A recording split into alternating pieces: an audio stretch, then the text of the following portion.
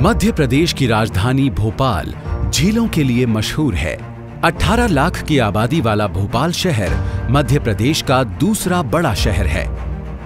भोपाल नगर निगम ने आधुनिक टॉयलेट्स का निर्माण किया और शहर को खुले में शौच से मुक्त किया। यहाँ पे मिनाल में यहाँ सुलभ कॉम्प्लेक्स है, जो कि काफ़ी क्लीन रहता है। यहाँ गर्ल्स के लिए सबसे अच्छी बात यह है कि यहाँ पे सैनिटरी नेपकिन मिलते हैं और यहाँ पे पूरे कर्टन्स वगैरह लगे रहते हैं तो कोई प्रॉब्लम नहीं है यहाँ पे। रहवासियों द्वारा पहले से ही अलग किए गए गीले और सूखे कचरे को भोपाल नगर निगम के वाहन नियमित रूप से डोर टू डोर जाकर कचरे का संग्रहण करते हैं।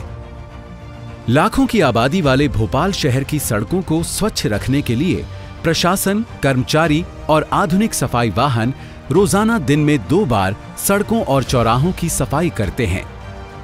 भोपाल नगर निगम द्वारा संग्रहित गीले कचरे से खाद का निर्माण होता है।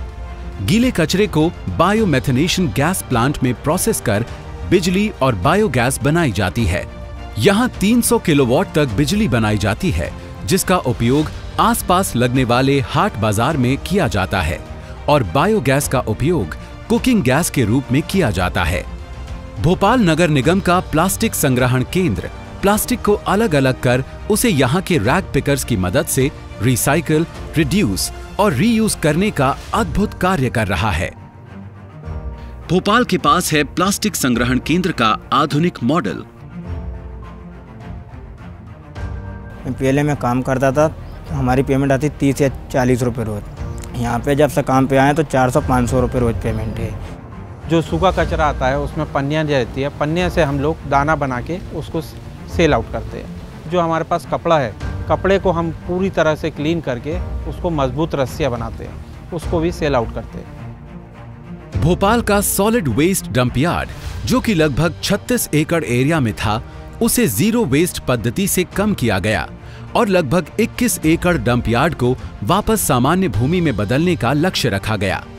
यहाँ आने वाले कचरे को प्रोसेस करके कंपोस्ट से खाद बनाई जाती है।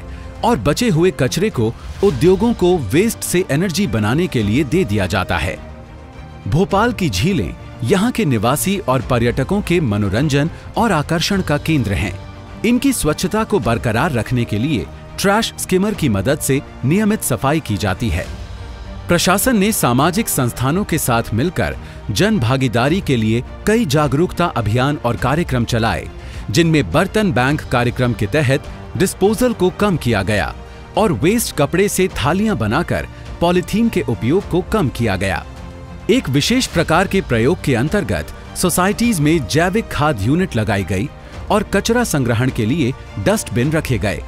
निगम कर्मचारी नियमित रूप से इनका कचरा जैविक खाद यूनिट में डालते हैं और खाद बनाते हैं। इस जैविक खाद को आसपास के पेड़ पौधों में डाला जाता है। भोपाल शहर के सौंदर्यीकरण के लिए प्रमुख रास्तों और चौराहों को पेंट किया गया, एवं नियमित रूप से यहाँ सफ़ाई की जाती है। साथ ही बस्तियों, यानी स्लम की स्वच्छता पर भी विशेष रूप से ध्यान दिया गया है।